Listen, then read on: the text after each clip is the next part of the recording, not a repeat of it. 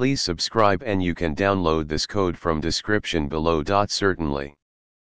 Checking if a string contains a random set of characters from another string can be achieved in Python using various methods like iterating through characters, utilizing sets, or employing regular expressions.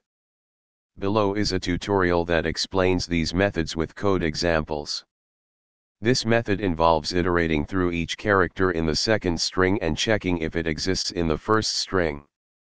Sets provide an efficient way to check for existence of characters between strings. Regular expressions can also be used to check for the presence of a random set of characters in a string. Choose the method that best fits your specific use case based on efficiency, readability, and complexity of the strings involved. ChatGPT